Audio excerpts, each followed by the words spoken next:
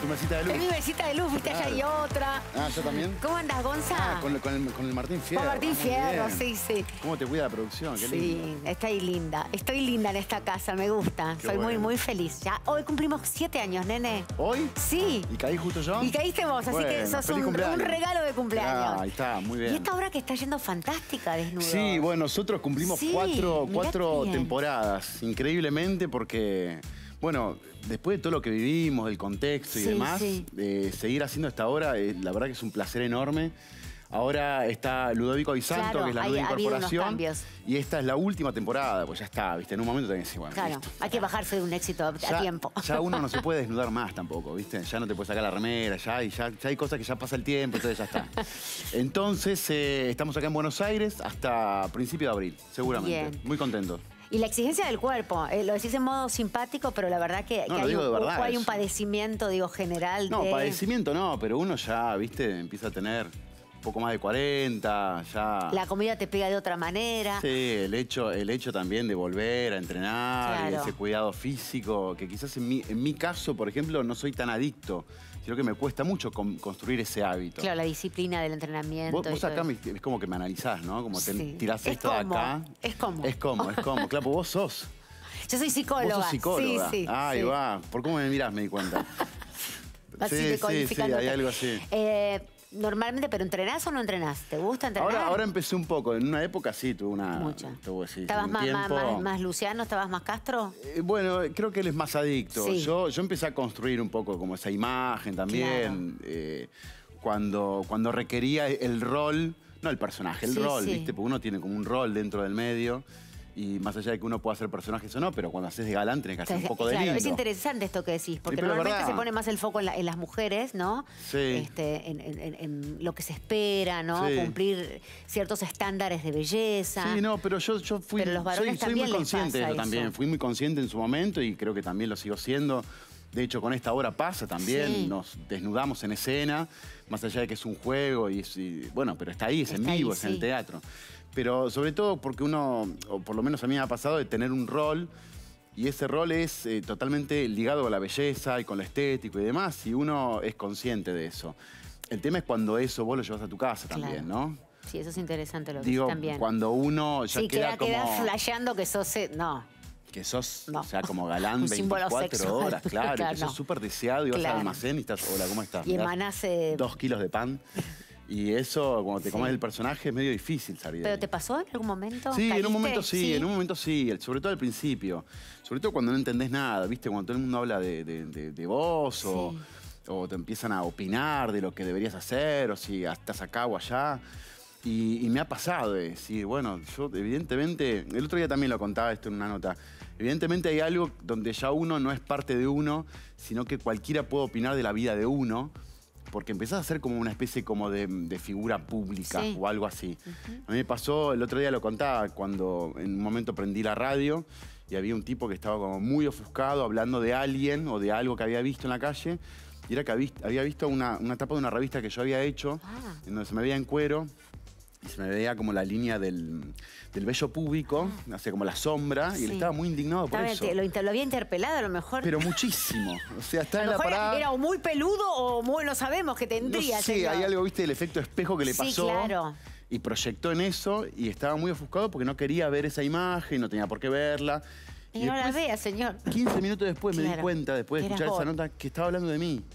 Y ahí fue como diciendo, ah, mirá, o sea, como cualquiera puede decir cualquier cosa. cosa, sí, sí, Porque el tipo se imaginaba cosas de mi vida, ¿no? Y este tipo que anda así en pelotas las 24 horas de su vida y no sé qué. Y se- ah, claro, y habla como si me conociera Sí, también.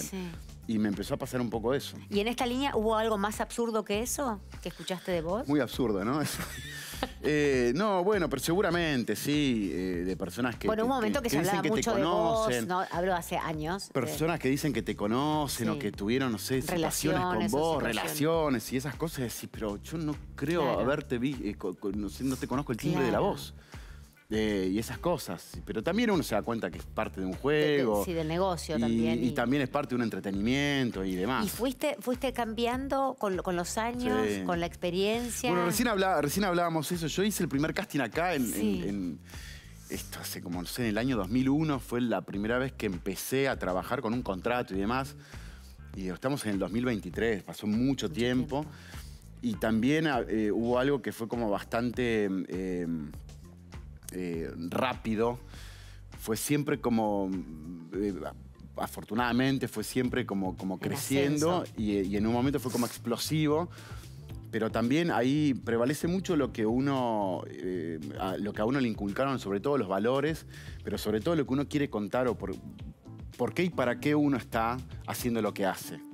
Si solamente querés ser eh, famoso o- Sí. o, demás, Sí, o hay algo, o si hay algo para contar, cosa. hay algo, para- hay algo detrás. Entonces, en ese sentido, creo que también tuve que aprender eso, o sea, como correrme de ese lugar, repensar un poco el camino, repensar un poco las cosas, repensar y replantearme las preguntas que me llevaron como a ese lugar. Bueno, Sí. una carrera hermosa. Y tenemos un... Oh, ¿en serio? Sí, hicimos un informe muy bonito que quiero compartirlo con vos y con todos. Y con todas. Sí, dale.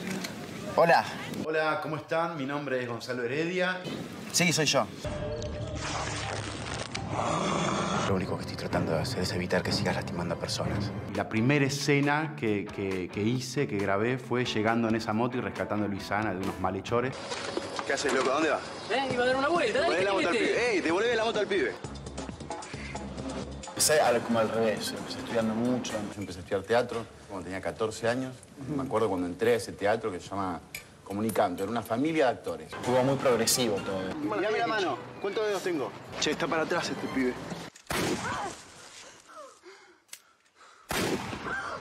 Vení. Está todo bien. Está bueno como hacer y, y no como enrolarte en una de soy esto, soy lo otro. Boludo, ¿me vas a ayudar? Vení vos, Tate, que te va a hacer mal. vení vos. No, déjame, déjame. Mira el día que es. Mira el cielo celeste, el sol hermoso que hace. Eso te hago. Esta será la camiseta. Ya se no me digas nada. Te casaron con un viejo horrible. Hacen eso. Se las traen de Europa. Son unos asquerosos. Yo lo conozco. La verdad es que si me tengo que considerar algo es alguien inquieto. Leo, tengo en la mochila, de hecho, tengo tres, tres libros que estoy leyendo. Se empezó a construir este, este, este, este escritor y ahora estoy completamente seguro de que hay algo para decir. ¿Qué pasó? Nada, no. eh, tenía sed, va, tengo sed y vine a ver si me podés dar algo. Sí, mira, lo único que tengo es agua. Ah. Siempre me río de mí. ¿No te pasa a vos que mirás un poco para atrás y te reís un poco de vos misma? ¿Quién sos? ¡Huevo! Ah, bueno. ¿Es amigo tuyo este también? Tenés el auto con la goma desinflada. ¿Y por qué no lo inflas? Pues Recién la veo, te lo llevo ahora si querés a la estación de servicio. No, no, no tengo tiempo. Ahora no, no me voy. Eh, Uno también se rompe el lomo, más allá de, de- de Sí. que, lo que sea, de lo- cómo, cómo has visto el laburo de actor. Te pago para que trabajes. ¿Eso incluye las horas extras nocturnas? Sí. Entonces el sueldo es demasiado bajo. Uno también se rompe el lomo. Y entonces está bueno también después retribuir eso a tu familia, está bueno. Yo aprendí a andar en bicicleta sin rueditas acá. Que mi viejo nos comprara la bicicleta muy grande para que te dure hasta los 15 años, ponele, ¿eh? Sí, papá, está molesto porque tu lugar pasó a ser lugar de la familia. Creo que estamos viviendo y como desafío que tenemos como padre y madre es la comunicación. Romper los tabúes con los que nos educaron. ¿Cuántas cebillas vas a poner? Como 800. Y nosotros tratamos como padre de ser lo más libres posible. Los lugares en donde uno puede enorgullecer a su hijo y que ellos demuestren eso son muy poquitos. Hay algo de la herencia que queremos como romper. Pero cuando pasa, qué lindo eso. ¿eh? Uno no puede ser genial siempre. Uno a veces las cosas, hace las cosas mal. Y también está bien. Y también está bien. También está bien. Linda. ¿Cuánta- ¿Cuántas cosas? Eh, qué difícil verse. Creo que es una de las primeras veces que me ponen así como un compiladito. Ya estamos a la altura de eso. Ya, ya estamos a la altura de compilado, estamos a la altura de eso.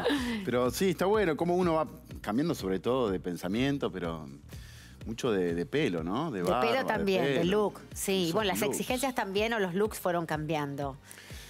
Sí, es un poco lo que, lo que decía. Sí, pasa eso. Pasa también que uno se empieza a amigar con eso y uno empieza como a, bueno, a hacer Y lo también que que es. esas cosas pueden convivir, digo, estar bueno y actuar Sí. bien o, o estar un día mal y que al otro día sabes que puede Yo- estar yo- bien o no, Yo no creo, sé. bueno, muchas ¿No? cosas, sobre todo las entrevistas, eh, eh, yo sigo creyendo esas cosas. Digo, está, está bien hacer las cosas mal. Y está bien también decir en televisión, no, no sé, Claro. no tengo opinión de lo que me estás preguntando. Sobre todo con lo cotidiano, con Sí, lo que sí, pasa, sí. con lo No hay que político. tener respuesta para todo tampoco. Como todo el mundo habla de política. y O a lo mejor la tenés y no la querés compartir. También puede pasar eso. Sí, puede ser, pero yo creo que es hay que tener cuidado con las cosas que uno dice. Eh, bastante cuidado, porque eh, hay, hay- hay- de alguna forma puedes influenciar a alguien Sí.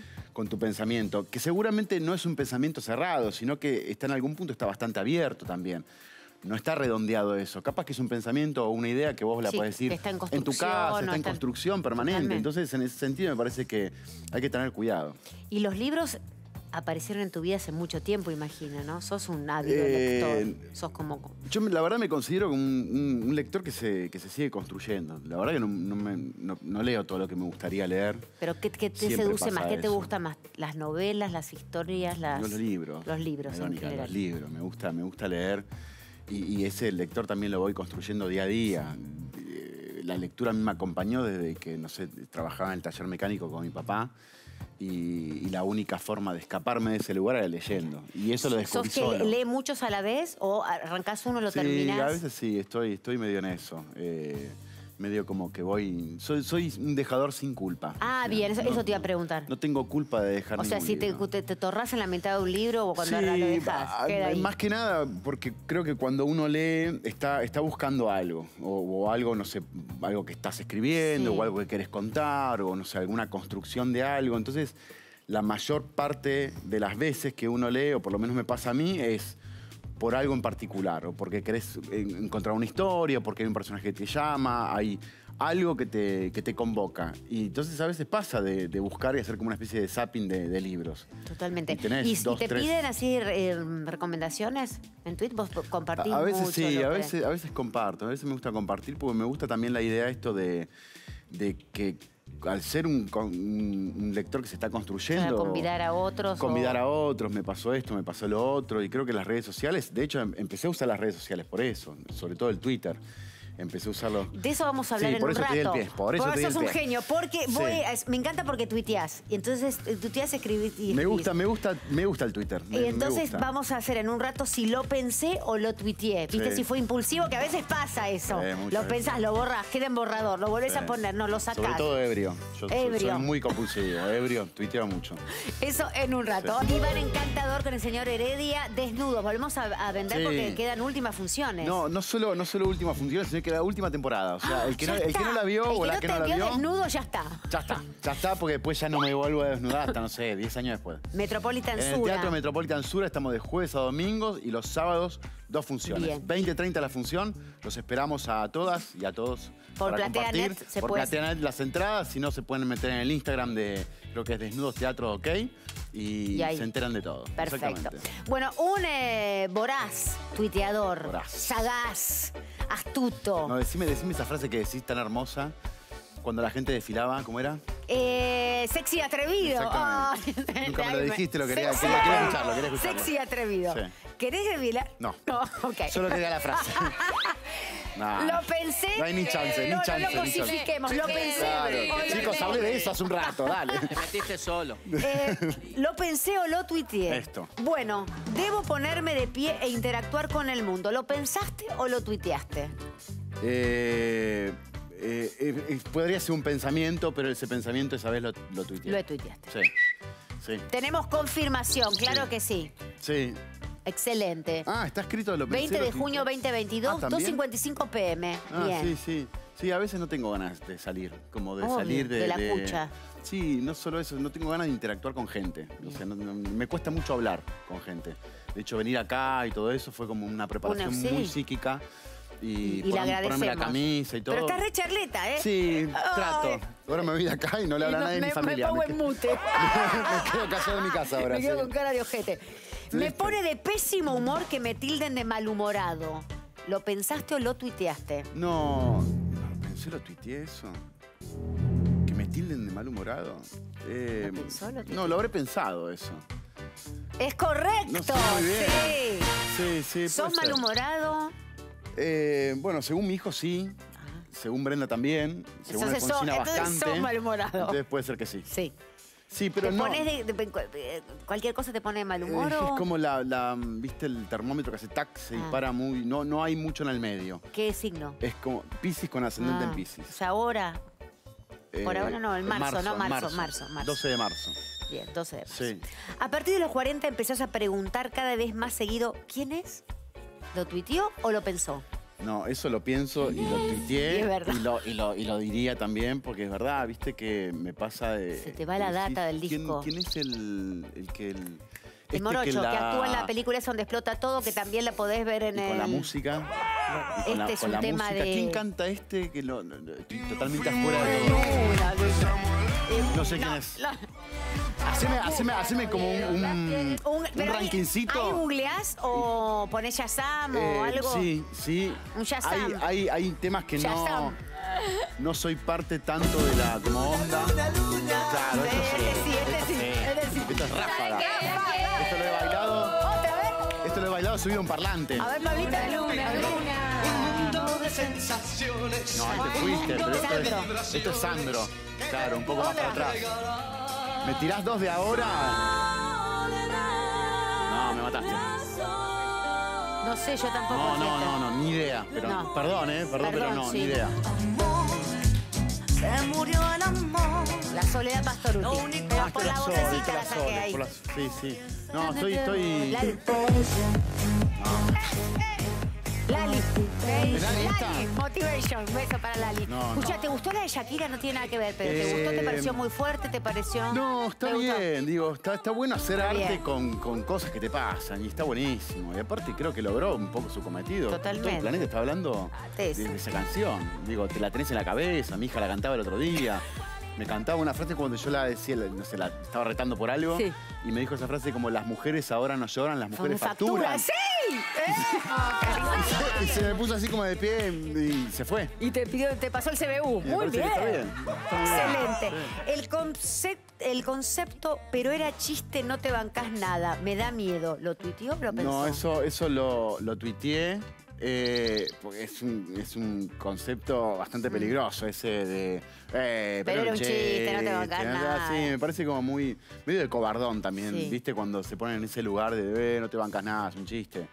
Eh, y me parece bastante peligroso. Bien, es verdad, lo ha tuiteado el señor.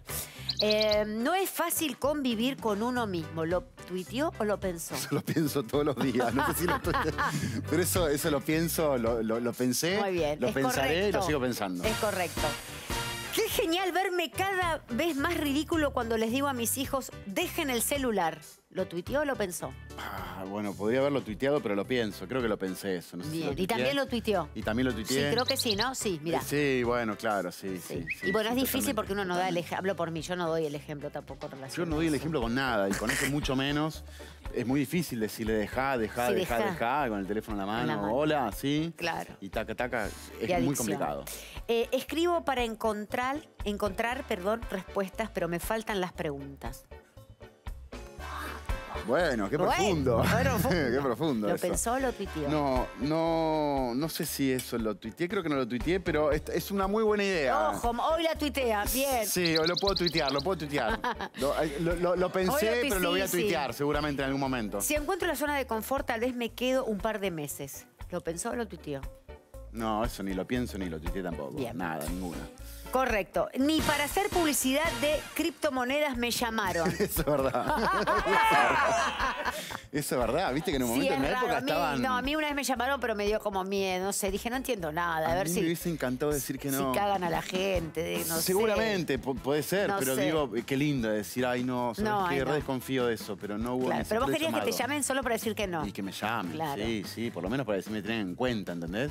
Perfecto. Sí, que doy confianza. ¿Qué, qué fue la, no, no está aquí, pero qué fue la, el llamado más curioso para publicitar qué tipo de producto? No, no, no fue para publicidad. Creo que una vez lo conté. Una vez se llamó un, un señor que cumplía, no sé si 70, 60 años, Sí. a la agencia de representantes, de, de mi representante, preguntando por una cotización porque él quería que yo leyera poesía desnudo en el living de su casa. Epa.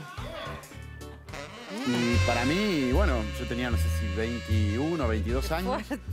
Eh, y bueno, Era muy buena, era muy fumona la, la propuesta. bueno, pero Sí. yo he agarrado ¿Y? cada cosa. Y. No, no, no, no, volvió a cerraron llamar. el calleo. No volvió a llamar. O sea, no hubo momento de pasar un número que me hubiese encantado. ¿Por qué no? Digo, como. Pero el Depende de qué poesía también, ¿no? Había, había un número, lo podías hacer por un no, buen no, número. no hubo un número. Nada. Hubo solamente una pregunta.